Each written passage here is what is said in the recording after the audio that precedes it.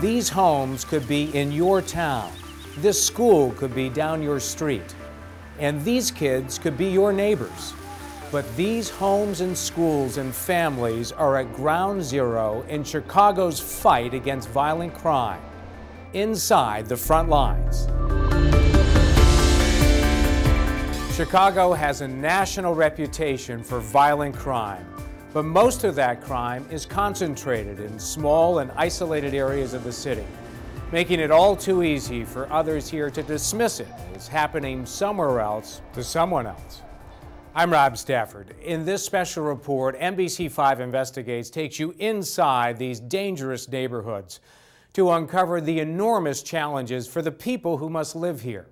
We'll also give you an exclusive look at some new high-tech methods used by the police who fight the crime here. And we investigate the problems that persist here.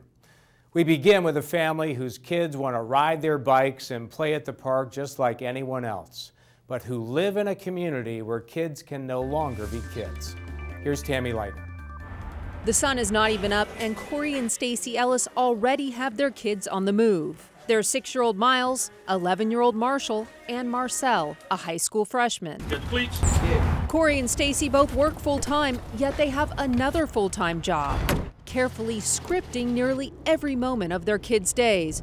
Like a well orchestrated symphony. They play basketball, baseball, football. Everything structured because they can't do the simple things that most kids and parents take for granted. I wish they could walk to the store. I wish they could walk to White Castles.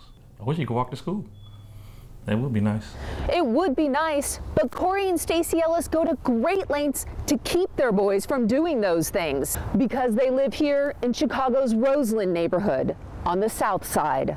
It's ground zero in a virtual war zone of crime that no child should have to navigate. NBC5 Investigates took some of the basic kid things most families take for granted playing outside, getting fast food, walking to school and then dug through Chicago's crime reports to see what they would be like for Marcel, Marshall, and Miles. We found that within a block of the Ellis's home, there have been dozens of violent crimes in the past year, including 12 with guns, 36 incidents of assault and battery, and 10 armed robberies. There were also four arrests for crack and heroin and three for sex crimes, all within this one block in one year.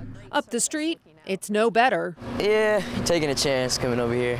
Yeah, even just to get a sandwich, you're taking a chance? A sandwich, yeah. This hoagie shop is along the route Marcel would take if he were allowed to walk to school. Would it surprise you to know that there was an armed robbery in this neighborhood? No. How about that people were arrested with guns? In fact, NBC5 Investigates found 26 armed robberies and more than 200 incidents of assault and battery out of more than 300 violent crimes in the past year, just along Marcel's route to school. Think about that. A violent crime for nearly every day of the year on your child's route to school. I don't know if what happens in impoverished communities is fully understood by the masses. Activist Stephen Gates describes these neighborhoods as having invisible boundaries that kids can't cross, whether it's from violence, drugs, or gangs. For me, it has a third world country feel, and I've had other people uh, second that, that, they, that it felt like these kids were living in a wartime or a third world country. But it's simply a way of life for many Chicago area kids, where even the neighborhood playground is off limits. In fact, it was a neighborhood park where one of Marcel's friends and teammates was gunned down. He wasn't the intended target. You know, it really didn't hit him at first, but we were just driving one day and he just was looking out the window and he just started crying. But Miles, Marshall, and Marcel don't want your pity. They simply want to be kids. I kind of wish I could kind of hang out with, not, with without my parents worrying about my safety. Stacy and Corey Ellis are saving up to buy a home and move out to a safer neighborhood away from the front lines. But those lines can also keep people inside these poor and dangerous neighborhoods, simply because there's nowhere else to go. NBC5 Investigates found that's often the case for the tens of thousands of inmates released each year from Illinois prisons. Here's Carol Marin. Chicago, we talk about it being separated by gangs, right? But no, it's separated by zip code. So, which zip codes did ex offenders land in last year? The largest group, 1,570, went to zip code 60608, which includes parts of Bridgeport and Pilsen. This map shows the highest concentrations of inmates released last year, from 60628 on the far south side to a corridor along the Eisenhower Expressway running from Lawndale to Austin, where hundreds of ex offenders returned to the pockets of poverty they left. This is the Austin neighborhood, zip code 60651, where last year 616 released inmates came to live. We've come here to talk to eight recently released men whose crimes range from burglary to retail theft to DUI. Eight men with one story about finding a job. Do people ask if you're an ex offender? Yes, they do. And what happens then?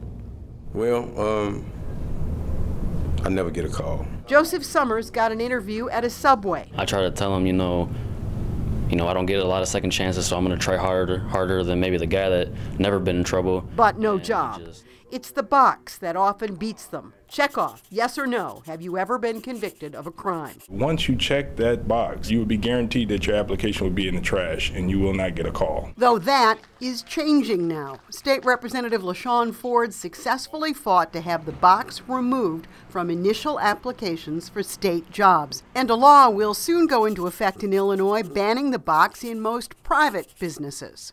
It was a narcotics charge that sent Mark Mitchell to prison decades ago. Now he has four college degrees. And you can't find a full time job? No, ma'am. But you've been out for 20 years. Doesn't mean anything. Even though I've been home 30 years, if I go seek employment, I still got to check the box. If employer can actually tell any one of those people, I don't hire uh, people with criminal records. I find that to be very discriminatory. At this Safer Foundation Center, 385 IDOC inmates are being taught skills in order to find employment and increase their education. 38% of Illinois inmates tested last year by the Department of Corrections had math and reading skills below a sixth grade level. Here in Illinois, the state offers tax incentives for hiring ex offenders, and the city is increasing its Second Chance initiative, and the CTA has an ex offenders apprentice program. And in the Chicago Lawn neighborhood, as the Chicago Reporter notes, a marching band trumpeted the opening of a rehabbed house where ex offenders will live and try to find work, even as the stigma of incarceration remains. Why wouldn't you give a person a chance who has changed his life? I'm not that person any longer. When we come back, an exclusive look at the Chicago Police Department's new methods to combat the constant violence they face inside the front lines. We continue our examination inside Chicago's front lines by looking at the police who confront the violence here every day. NBC5 Investigates got exclusive access to some new state of the art methods, which police hope will make a major impact on the high levels of crime in some of Chicago's most dangerous neighborhoods. We have two reports, beginning with Phil Rogers. Veteran cops will always tell you that when it comes to solving crimes, every second counts. So this is citywide. We're looking at open calls to 911. NBC5 Investigates was given an exclusive first look at the Chicago Police Department's new Crime Prevention Information Center, a high-tech control room deep inside police headquarters, which serves as a conduit to put intelligence information into the hands of officers on the street.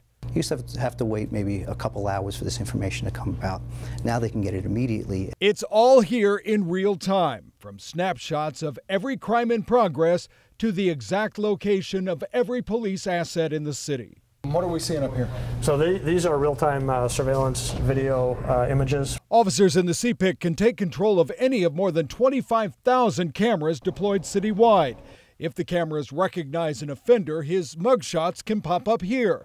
And when a shooting occurs, instant intelligence information is available to show a victim's criminal history, places he has committed crimes, even friends who might retaliate. And this helps us get ahead of the crimes of where they're going to happen and where we should deploy our people. It's all designed to put information in the hands of police where they need it and when they need it. We can actually uh, deploy our people and help with investigations and help with the, with the officers in the street with this technology. And the idea is to be doing this as it happens? As it's happening, 24 hours a day, seven days a week. This is Marion Brooks. Any evidence from any crime scene in Chicago is brought here to the Chicago Police Department's evidence lab. We're giving victims closure. We're giving families closure. Let's start with ballistics. Any gun from a crime scene meticulously scrutinized. Technicians fire guns into water and a gun room and want the casings. That's where the gun identification happens. The best marked casings go here into the Integrated Ballistics Identification System, or IBIS, brand new to the CPD. Now we're basically going to put the cartridge into the cartridge case holder. The simple task of being able to load this casing themselves is a really big deal. They used to have to send casings to the state police, who had the only IBIS system, and it would then join the casings from departments all around the state, waiting for matches from the Bureau of Alcohol, Tobacco, Firearms, and Explosives. We wouldn't get results back for months sometimes. And now CPD sends the info to ATF themselves. This basically can be done within five hours from start to finish. Police believe the IBIS system alone is a game changer. What good is information a year later? You know, you need that information when you have a, a person of interest that you're talking to. And there's more. The things you see on those forensic crime shows happen here every day. But they're using actual equipment we use in our laboratory. IDing fingerprints. It's a process. First, the technicians look for prints with a naked eye. Then they get a superglue treatment. Superglue gently heats up, and when it gets to a boiling point, it off gases and creates a white, semi permanent plastic residue. The evidence is then dusted, stained, and then ready to come here. The final step so the technicians can best see these prints, you need a special light and a special filter like on these glasses and on our lens. The prints become more pronounced. Without the filter, not so much. When photographed, they become even clearer. It's so much easier for the examiner now to work with it. And then there's the Leica Station, L E I C A, a brand name. It's basically a mapping system that allows evidence techs to duplicate a crime scene virtually, creating 3D and photographic blueprints of the scene. Instead of taking one measurement at a time, it takes millions of measurements at one time. They can even import the crime scene photos and map them on the scene. The magazine was found here and marked the crime scene marker number 14. Now it's an all digital presentation captivating, keeping the attention of the jury. Very powerful evidence. And these texts do go to court, explaining their work as part of the job, a job they seem to love. It's very exciting, very rewarding. This is crime fighting from the lab. Even with these new resources, Chicago still has some serious problems in fighting crime inside these front lines. And that's where NBC5 Investigate steps in. We'll show you when we come back.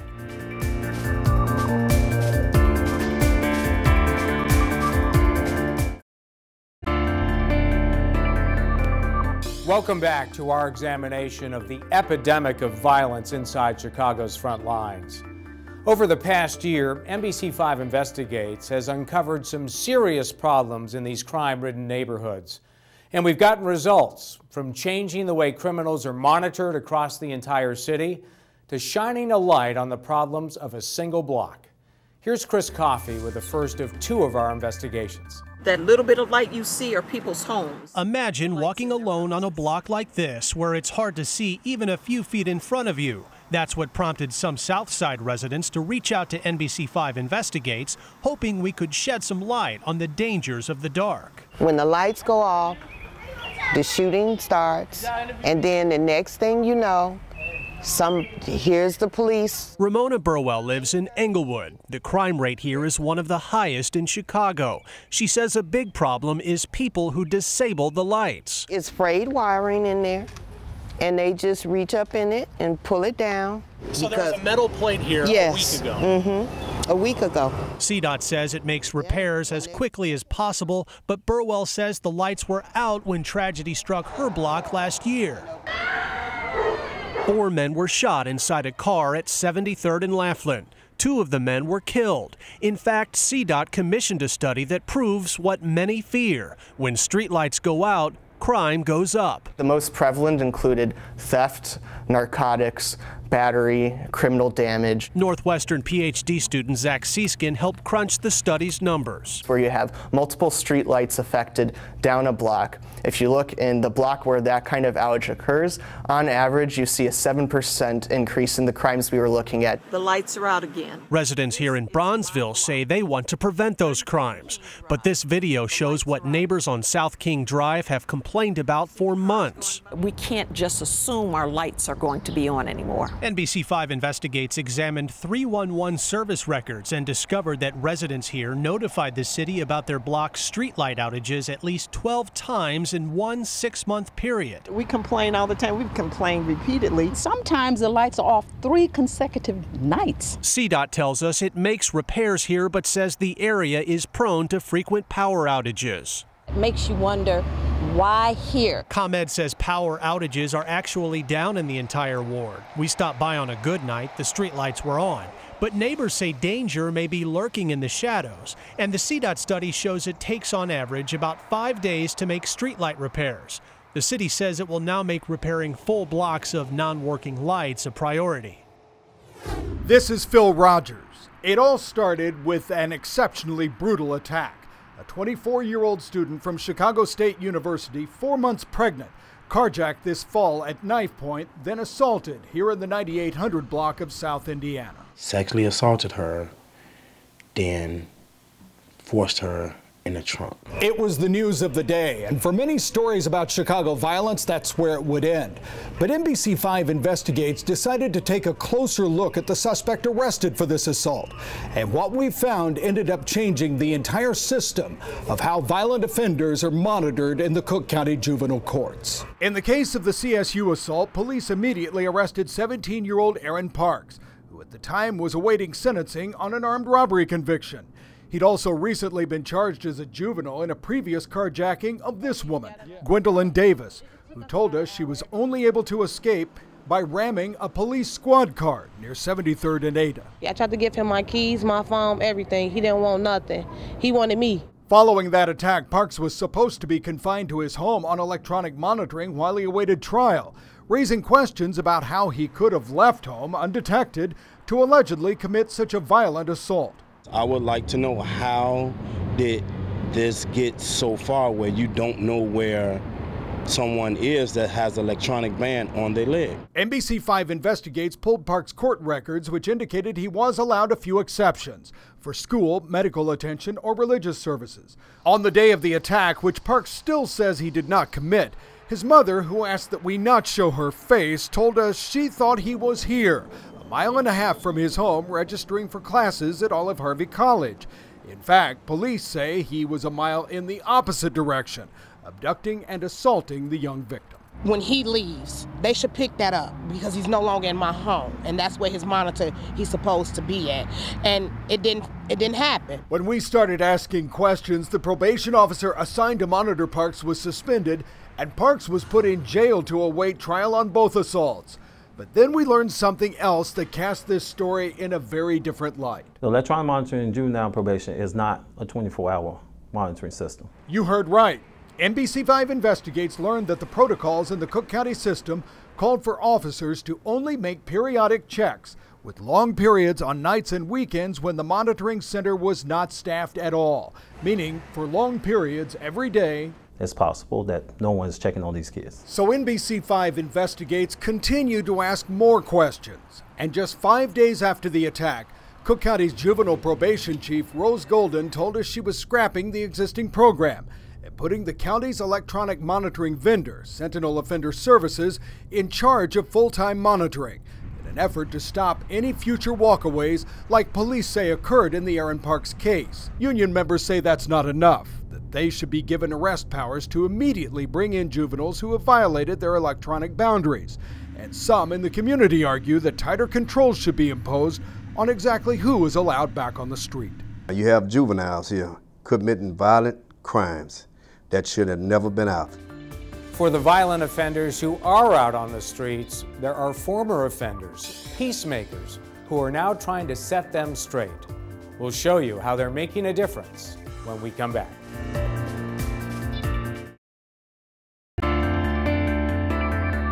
The front lines that define Chicago's most violent neighborhoods are gang lines, dangerous boundaries that can flare up instantly, even in these winter months. But some former gang members are making a difference, seeing this as the best time to try to break through those lines. Here again is Marion Brooks. We may not see the same level of crime in the winter, but majority of the stuff that happen in the summertime start brewing during the winter times. That's why these former gang members don't stop working to fight gang violence when it's cold. They are two of the four peacemakers who focus on the Southside Auburn Gresham neighborhood. This is their time for them to really try to plan and strategize and their minds get to wondering what can we do once it get warm. So the peacemakers keep listening, heading into their homes. Going to their basements, talking to them, letting them know, you know, seeing what's really going on. What's happening on Facebook? What did he say? What happened at the high school? That's when we can find out the real beef. Who don't like who, who might start shooting at who. That's key because according to police, the focal point of violence in the city is gangs. What's driving the violence today, yesterday, tomorrow? It's going to be the gangs. Deputy Chief Leo Schmitz commands the 7th District, Englewood. And according to the police, the gangs are concentrated mostly on the south and west sides. Even though crime is down, even though all the shootings and murders are down, those are still the ones that lead the pack. Why is this gang violence happening? St. Sabina's Father Michael Pfleger. The people shooting today are punks. They're coward punks. They're not men enough to come say, yeah, it's you that I'm after. I told you you did this to me. I'm coming back for you. Now it's, I stand across the street or I do a drive-by and I shoot a spray of bullets. And then there are the factions. Deputy Chief Schmitz shows us a map of gang territories in his Englewood community. There's good people all over here. Even so, most of it is gang territory. The blue, the stripes, the dots, all different gangs, and within those gangs, factions. These guys emotional killers, so they react off emotion. His baby mama got slapped. His sister got punched. He gonna react off that. They not even gang banging for no money or none of that. They just everybody want to be this term a hitter. The police insist they have strategies, and last year in each one of these South and West Side districts, crime was down or flat. And the peacemakers feel they're part of the solution, but they're not satisfied. It may be down, but it's not over. We want to put an end to crime here in Chicago. And we end our special report from inside the front lines with a pitch. Our team at NBC5 Investigates is committed to doing the stories that affect you directly. But we need to hear about those issues from you. What affects your neighborhood, your block, your family? We can't do these stories or get these results without you. So if you haven't already, please download our app or go to NBC5Chicago.com and click on the investigations page and send us the stories that matter most to you. Thanks for watching.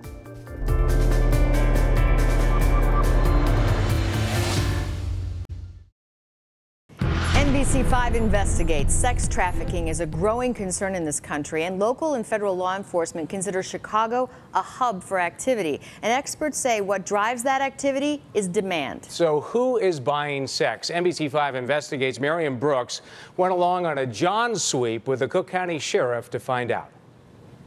If John is looking for it, you know, he'll spot them. Mid morning on a Thursday, in the rain, Cook County Sheriff's Police make their first arrest. It's a goal. It's a goal. An 83 year old former science teacher. Oh, no, I'm not going to kill nobody. Minutes later, a 31 year old bakery truck driver. I don't want to touch He was busted in his delivery truck. The bakery owners couldn't believe he'd do this at work. They may fire him, and they told us he's married with children. And then there is the 21 year old college student. I have a girlfriend. I don't need to do this. But one study on men who buy sex suggests that this young man is typical. It shows that 62% of Johns have a regular sex partner like a wife or a girlfriend. The study by the Chicago Alliance Against Sexual Exploitation also found 79% like this young man had attended college, graduated, or had a graduate degree. The 21 year old said he was only joking when he approached the undercover female cop acting as a decoy. And I'm not soliciting anyone, so I mean, I don't know what. You just did. It was as, as a joke, but. The women who are going through this, who are doing this, are oftentimes victims. I mean, I would just get the help they need. Could see where it would hurt their hurt their self-esteem. It goes a bit beyond self-esteem. That's often broken long before these women get on the street. Most have experienced abuse. Sheriff Tom Dart. So usually sexual abuse started within the home decades ago, uh, drug abuse as well. All those things sort of packaged together has led them to where this is the way they're making ends meet. And this is a dangerous way to live. We found out how dangerous when we learned about our next John. Dark colored minivan on the deal. I was walking past him, and that's when he said, get in the car. This 36 year old man approached an undercover officer we'll call Sue. Usually these guys are somewhat nervous. He was out of the norm. He turned out to be a convicted murderer who in 2004 pleaded guilty to the 1998 murder of a prostitute named Lucretia Avery. He and two others beat her, raped her, wrapped her in a sheet, and then threw her out of a window. He served 10 years of a 20 year sentence. Sue wasn't surprised and was glad it was her he tried to stop. I'm being watched because I'm undercover, but if I was actually just a working girl on my own, I wouldn't have any protection. No one's going to come after me. In Illinois, it is a misdemeanor to solicit prostitution, but Sheriff Dart says that charge wasn't changing behavior. It was just sort of getting really just lost in the shuffle and being treated in a way that was uh, dismissive at best. He helped usher in a county ordinance in 2009 that allows a fine of up to $1,000 and it seems to have worked. Since we started doing this about four years ago, we haven't had a repeat offender. And ultimately, keeping the Johns away, fighting the demand, is a big part of the goal. No customers, there's no need for prostitution. The Cook County Sheriff has collected more than $200,000 in fines since his officers began citing Johns instead of charging the misdemeanor. And 60% of that money has gone to a sheriff's fund to help prostitutes get off the street. Marion Brooks, NBC5 investigates. You may not realize it, but every 24 hours, thousands of women and girls are trafficked or prostituted in the Chicago area. The numbers are staggering, but getting out of that life is very difficult. Experts say the trauma is intense and there are very few services available to help. We found one of them run by the Salvation Army. One top, one bottom, one purse. They look and act like your average teenagers shopping. These have a good color. But it took work for these girls to get to this kind of normal. They are each victims of sex trafficking. After I got raped, then I started to learn about prostitution. Jackie, will call her, was 13 when she got raped. I was staying with mostly men who would not let me go to sleep when I wanted to and make me have sex with them. At 18, the girl we'll call Tina, a runaway, was also raped and then moved from house to house being prostituted by gang members for survival. And they're like, we kind of don't have a choice because if you want to stay in our hood, you owe us taxes, you got to pay us. Jackie, now just 16, was used by two different pimps, managing to escape the last one. I have to wait till he get deep and sleep because you just moving and he wake up. And he had guns, so of course I'm gonna be scared. She's still fearful he'll come after her. He's capable of anything. Police don't scare him, don't not scare him. Jackie and Tina are safe right now. They're in a long-term residential facility in a home hidden in plain sight in a Chicago area suburb. It's run by the Salvation Army exclusively for sex trafficking victims. It's called Ann's House. Now, it looks pretty homey here. Is that part of the way you have it set up, intended to be comfortable? Make it a comfortable environment to make them feel at home. Despite the fact that 16 to 25,000 women and girls are trafficked in Chicago every day, Ann's House is one of only two places in the state offering sex trafficking victims long-term residential care. According to this national survey, there are only 12 beds in the entire state. Ann's House has eight of them and experts say sex trafficking victims need specialized care. The things that you have to deal with, flashbacks and nightmares and defiance. People in prostitution have rates of post traumatic stress disorder that are almost as high as people in combat war. Here they receive intensive counseling. They learn life skills. We may have girls who don't know how to use household utensils because they've never done it before. They go to school and get constant support. There are rules and structure. And they come into a place that is safe, very structured, where what's expected of them is really clear. Ann Bent, the Ann in Ann's house, donated $1.2 million to fund the program in 2009. What they get in the home is a true home. She sees it working. Right now, Jackie is a sophomore in high school who loves art. Do you see yourself going to college? Yes, I'm going to college for sure, there's no doubt. Without Ann's house? I would probably be in jail right now. I'm not even gonna lie. I could have ended up dead. But this year, Tina graduated high school and is focusing on college. It's like God spoke to me and said that my life was going to change for the better, and this place represents that. I'm very lucky for Ann's house. More services for sex trafficking victims may soon be on the way. The Chicago Alliance Against Sexual Exploitation has pushed legislation to fine pimps, johns, and traffickers and use that money to help fund services like those at Ann's house. The measure passed last week and now awaits the governor's Now to our ongoing series about sex trafficking in Chicago. Tonight, NBC5 investigates a boots on the ground rescue effort. The Dreamcatcher Foundation hits the streets on a regular basis to bring support and hope to young women working in the sex trade. Their mission is to get them off the street into a better life. Here's NBC5's Marion Brooks. Hey, Pumpkin, you need some condoms? Hey, sweetie, you need some condoms? That's typically Brenda Myers Powell's opening line, offered with love. She's hoping for trust. Uh, this is the first time I've actually saw you, and I'm usually out here. All the girls know me. I used to work right over here. Brenda and her partner Stephanie Daniels are on a rescue mission. Brenda spent 25 years as a prostitute, Stephanie 20 years as a drug addict, who at times prostituted to buy drugs. Backgrounds that they say give them credibility to reach these women on the street. We're not here to judge them. No. We're not here to make them change their behavior. We're here to offer them hope and encouragement in the event if they want to stop. This is where I met Marie. I met her right here in the corner. 30 year old Marie Miller is a former prostitute Brenda successfully rescued in October. And I came along with the Dreamcatchers with Brenda. They gave me hope. And on this night, she is riding with Brenda. I know them. That, that's Diamond, Butterfly. Over two ride alongs with Dreamcatchers, we got a first hand look at the need wrapped in the story of a girl we'll call Rose. In May, My situation right now is kind of messed up, but it's going to get better. Guess what? You was by yourself, but you not no more. Give me a hug. I'll be seeing you soon, okay? and she did three months later, and things were not better. How's things going? I'm kind of out here on the streets, not nowhere to go. I'm just bad. I'm out here bad. Getting high, all type of stuff. Rose eventually told us that she'd done crack for hours that night and she was homeless. Both Brenda and Marie sense she's in trouble. I can see it in your face. All right? yeah. It's gonna get better, you know what I'm saying? Yeah, I But what I need for you to do is make a decision if you want to go with me because that's all I do. You want to go now? You want to go now? Ready to go? Are you really ready to go to treatment? Yeah, I'm, I'm scared. Yeah, like, Rose goes along, and we learn she'd been on the street off and on since she was 16. She's now just 22. Brenda first tries to find Rose a bed at a detox center, but none is available. There is nowhere to take her. This dilemma points to a need highlighted in a 2013 national survey of programs for victims of sex trafficking. Despite the estimated thousands of women prostituted or trafficked on any given day in Chicago, there are only 12 beds in the entire state of Illinois, and only four beds for victims over 21. It's one o'clock in the morning, and a girl says, I'm ready.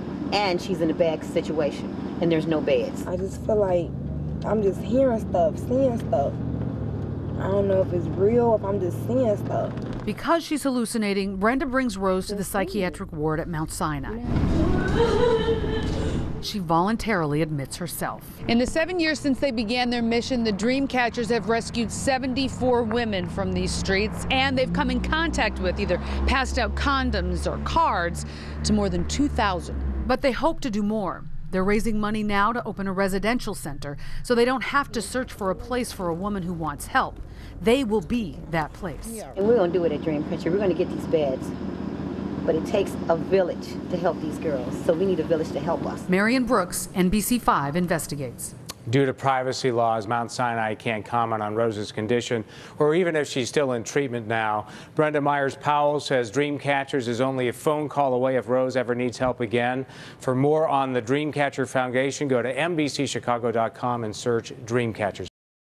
Tonight, NBC5 investigates Division 17. It's part of an innovative program at the Cook County Jail. The program helps women deal with the trauma of, a tra- of the sex trade and trying to stay off the street. NBC5's Marion Brooks gives us an exclusive look inside and a warning some of the language is graphic.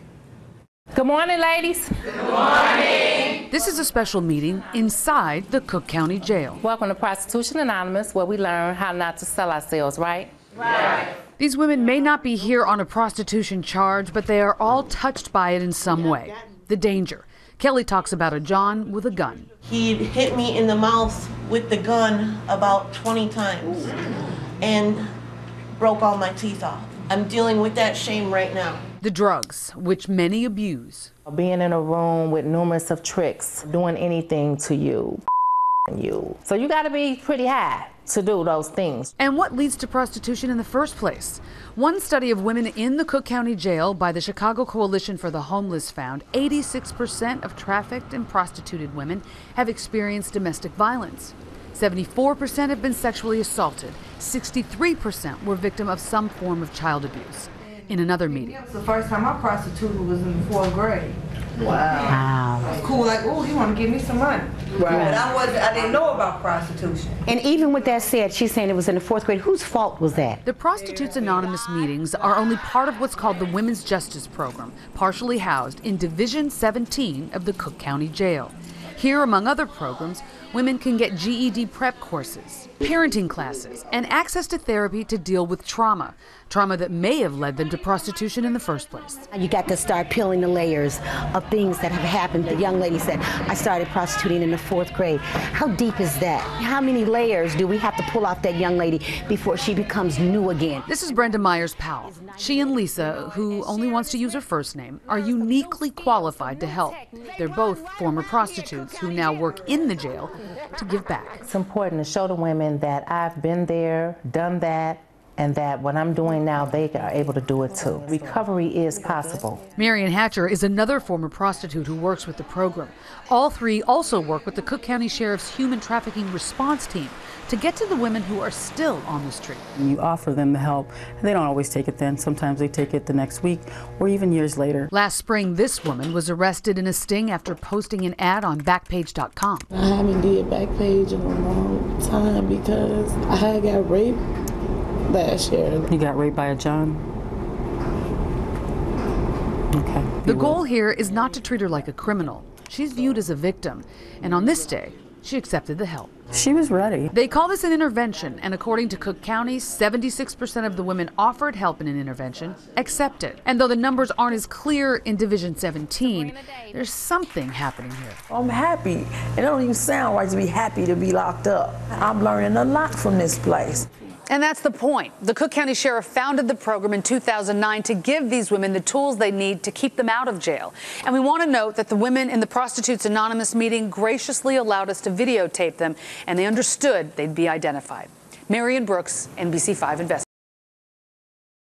Now, NBC5 investigates sex trafficking. In our ongoing series, we take you behind your computer and your smartphone to some of the most popular sources for the sex trade. They include the internet and social media. NBC5 Investigates Marion Brooks shows you just how easy it is to use and how quickly it works. Beeping is the alert. Minutes later, the arrest. I'm not here to nothing. I'm not here to nothing. Calm down, calm down. And then the reaction. I'm dumb, that's all. Look, I can't have a grown man sitting here crying. Come on, no, don't do this. In less than an hour, six men had shown up answering an ad posted on Backpage.com soliciting sex. Within minutes, people are calling. It turned out to be a sting. The Cook County Sheriff's Police Vice Unit set up a female officer as a decoy in a random motel room.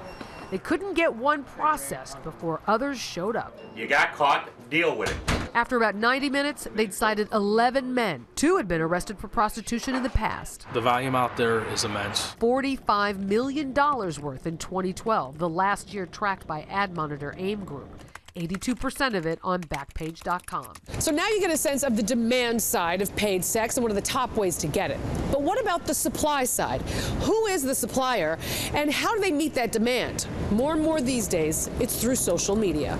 Meet Tyrell and Myrell Lockett, twins arrested at age 17 by Cook County Sheriff's Police for trafficking. They were typical predators. They were preying on the weak. They were out of jail in less than two years. And in May, the now 22 year old Tyrell Lockett was picked up by the FBI, this time on a federal charge of human trafficking.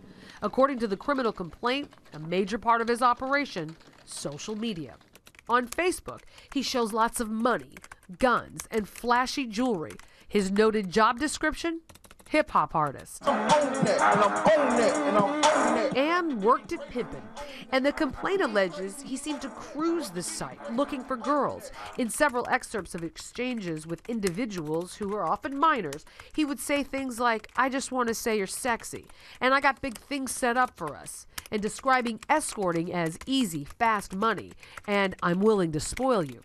The complaint says Lockett used the come ons and photos as recruiting tools and often used friends to lure friends. Cook County Deputy Chief Mike Anton. Well, they're promising something that, that uh, a lot of younger people are, are, uh, are trying to obtain money, uh, glamour, because they sell it. It took a 20 something to decode this world for us. 22 year old Ariel Thompson works as an intern for a foundation that helps trafficking victims. She spotted the hashtags on Instagram that outlined a sort of underground world. It's a whole different language. It's like a cyber prostitution ring. We saw one hashtag chosen in the criminal complaint on Tyrell Lockett. Cook County Sheriff Tom Dart, whose vice unit first arrested Tyrell Lockett and conducted the back page sting, says parents need to be aware of all of it. So parents just realize it is horribly dangerous out there. It really is. This isn't me or anybody else trying to scare you. It is real. Backpage's attorney told us it encourages law enforcement's use of its site to battle trafficking, especially in finding victims. Facebook wouldn't comment on Tyrell Lockett's use of its site because his case is pending. But we've put a copy of his criminal complaint and a glossary of hashtag terms on our website, NBCChicago.com. Search sex trade if you'd like to take a closer look. NBC5 investigates inside the front lines. We go inside a crime ridden West Side neighborhood with an ex gang member who used to be part of the problem, but now he hopes to be part of the solution. Here's Tammy Leitner. This is Cicero and Van Buren. This is where me and eight other guys started a street gang called the Cicero Undertaker Vice Lords. Most people in this Austin neighborhood know Clifton McFowler simply as Booney. I never went anywhere without a gun and a bulletproof vest. Armed robberies, drugs, and eventually murder. It was all part of gang life, and it cost him 37 years behind bars. We had no idea that 40 years later, the effects of something that we did as kids will have on my community. This once vibrant community is now plagued by abandoned businesses, boarded up homes, drugs, unemployment, and street gangs. Ah, you finally made one. Booney now spends his days keeping kids like Javion Reed away from gangs. I talk to Booney a lot about everything. The 16 year old met Booney after he was arrested for having a gun. Why do people get into gangs in this neighborhood? Probably just a life that he was raised by. Javion served several months of house arrest and now spends his days with Booney here at Build, a program for at risk kids in troubled West Side neighborhoods. What's your grade point average? The program gives kids in this area a fighting chance and this former gang member a purpose. And I believe that's my punishment is to come back to my community and to save as many as I can. And that's a good punishment. I can live with that. A staggering number of ex-cons return to Austin when released from prison. That's a tough um, burden on a community. State Representative LaShawn Ford has lobbied for resources to resuscitate the ailing area. Austin is a rich community that lots of people come from that has abandoned the community because of the lack of services. For Booney, abandoning his roots is not an option. I did my time. The time was just a part of it. The big part of it is now coming back to these places where I was part of the problem for so long and being part of that solution. And that means even after his day is over at Build, Booney hits the streets of Austin counseling kids right there on the street corners. Tammy Leitner, NBC5 Investigates. NBC5 Investigates is a state funded group home out of control. That's what neighbors and staff in Bronzeville neighborhood say. NBC5's Tammy Leitner reports. The pop of gunfire can be heard nightly in this Bronzeville neighborhood. Last month, just before midnight, three kids were shot while talking in front of Aunt Martha's group home, a place meant to keep kids safe. They were right in this crosswalk right here. NBC5 Investigates has learned that all three kids were wards of the state and were living at this state funded emergency shelter. One of the victims, an 11 year old girl, had just run outside. They can come and go as they please. The kids are not supposed to leave Aunt Martha's, but neighbors say many of the young residents come and go all hours of the night. Having kids who have literally no supervision whatsoever, having the access to come out of a state run facility is an abomination. State Representative Ken Dunkin lives next door to the facility, which temporarily houses newborns through 20 year olds, boys and girls. What time is it right now? Midnight. Dunkin recently shot this video. It's midnight Mm-hmm. on July 4th, Mm-hmm. and you're hanging out in front of Aunt Martha. Aunt Martha's on. 50. Aunt Martha's. It's time for you all to go in. Why? We just got out here. You're 13. So? Wait, wait. Miguel, he's uh, he's from the. Here's the problem you can't lock these kids in. That's only allowed at psychiatric facilities and detention centers. This is a short term shelter, which means the kids are not supposed to leave. But state law says if a child demands to leave and is not a danger to anyone, no one can stop him. And in fact, NBC5 Investigates has found police have been called here for runaways 27 times in the last 12 months. But current and former employees we spoke to say there's a bigger problem inside. This was shot inside the facility. Raul Garza heads Aunt Martha's Youth and Service Center. Is this behavior acceptable from a resident? It's not acceptable, but it's understood. And in these photos, former employees say a resident gained access to confidential client files that were supposed to be locked. We're told the resident read them and destroyed the documents. I'm not aware of it, no. They punched staff, throw things at staff. Aurelia Daniels says she was attacked by residents four times during the year she worked at the home. Multiple other former employees tell us they were also assaulted. Has it become a dangerous situation there? Yes, very much so. So they're going to react and they're going to act out and sometimes engage in physical aggression to express how they're feeling about being there. They're frustrated. These kids may be frustrated and they may have had a hard road.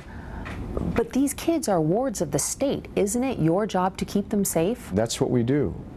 We succeed in doing that to a great extent. Despite the bad behavior and the shooting, both residents and employees say they don't want the shelter to shut down. They simply want things to change. No kids are unsalvageable. These children all could be helped. They all could be reached. All three kids survived the shooting. Since then, Aunt Martha says it has hired more staff and increased security. The CEO tells us Aunt Martha's is working with the community to resolve their concerns. Tammy Leitner, NBC5 Investigates. The Cook County Sheriff's Office is taking extreme measures to suppress gun violence in Chicago. A new temporary detail deploys deputies from the city to the suburbs. And NBC5 Investigates Tammy Leitner got an inside look as deputies went after those with arrest warrants for violent crimes. It's 25. Yeah. Deputies move in quickly, surrounding the house. All right, we got Pat in the back. Oh, Jimmy, stand by. They got him in the back. It takes just minutes to find Maurice Jones hiding in the basement of his mother's home. Turn around, face me.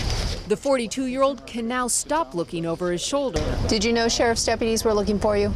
Uh, they came by here once before. He has a warrant for DUI, and like many others, he's a repeat offender. I wasn't ready to go to jail right now. That's the truth. Wasn't ready to go to jail. Most of them aren't. The other people that we're looking for. Which is why sheriff's deputies are targeting fugitives with outstanding warrants, going neighborhood to neighborhood as part of a six week special detail to help Chicago police combat gun violence in the city. All right. 120 deputies flood this South Side neighborhood, and we see firsthand just how hard it is to find these people with warrants. Can you open the door, please? Deputies check address after address, Hello, it's the sheriff's department. following leads like a trail of breadcrumbs. Do you mind if you show you a picture, see if you recognize the person? This address was a dead end, but this is by no means the end of the search for this guy. Sometimes it's hard to get a good address, and once we get one, we work it pretty good. As for Jones, his outstanding warrant is for a misdemeanor, but most warrants in these concentrated sweeps target violent criminals, allowing Chicago police to focus their efforts on reducing the city's gun violence. Tammy Leitner, NBC5 News. In the ride along Tammy took part in, sheriff's deputies made 33 arrests and confiscated 11 guns. When the lights go out, crime goes up. Did broken streetlights play a role in an early morning carjacking that left a woman dead? Tonight, NBC5 investigates the possible safety threat in this Chicago neighborhood. Good evening. I'm Allison Rosati. I'm Rob Stafford. The search is on for a carjacker who stole a woman's car, then hit and killed her with it before ditching the vehicle. A tragedy her neighbors say may have been prevented had the streetlights been on. NBC5 investigates Chris Coffey joins us now from the newsroom to explain. Chris? Rob and Allison, tonight we asked the alderman and the city tough questions about the area's streetlights. Were they working when the carjacking took place? And what could neighbors do to ease their concerns?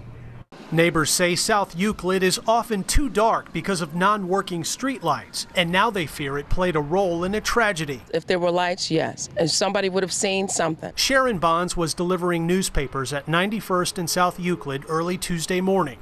Surveillance video shows someone walking past her car at about 5 a.m. Moments later, investigators say a man hopped in the car. Bonds tried to stop the driver, but she was dragged by the vehicle and killed. Residents here say the streetlights were out and haven't been working properly for weeks. All the way up here, it's pitch black.